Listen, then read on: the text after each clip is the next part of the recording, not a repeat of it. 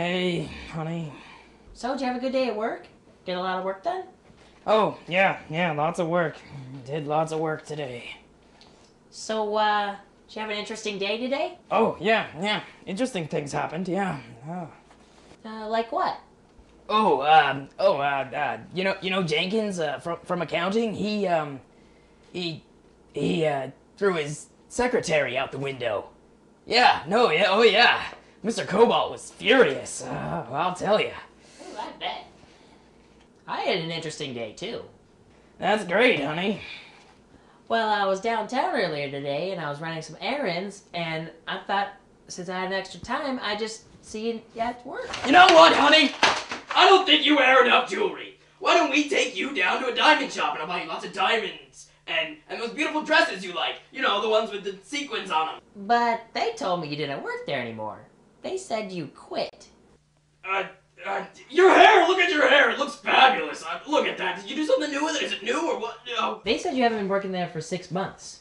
So what have you been doing every day from 9 to 5? You know what? I just made up a new rule in this house. No questions allowed. Why the hell not? It's my house. I should be able to make up any rules I want. No questions. That's right.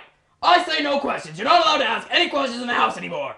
Honey, what have you been doing? No, see, that's a clear violation of the no questions rule. You can't say that. It's my house, no questions allowed. Honey! I'm a Teenage Mutant Ninja Turtle. Uh, uh, a, a what? Me and some guys from work dress up like the Teenage Mutant Ninja Turtles, and we travel the streets, saving the day and stopping the evil Shredder. Honey, you know, Shredder's not real, right? I don't want to talk about it. Hey, mom. Hey, dad. What's up? Hey, Ronnie. Ronnie, get back here! Your father has something he wants to tell you. What's up, dad? Oh, um, uh, Jenkins threw his secretary out the window today at work. Honey? Your mom's hair, look at it. It's fabulous, don't you think? Look at that. How did she get that? It's, it's lovely. Honey! Your father quit work and he's been running around the streets with his friends for six months playing make believe. It's not make believe. You make it sound like we're a bunch of damn kids, Janet. You're acting like a damn child!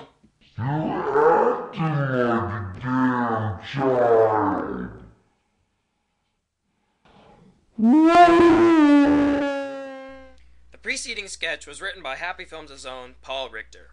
However, Paul, being very easily distracted, failed to write an ending.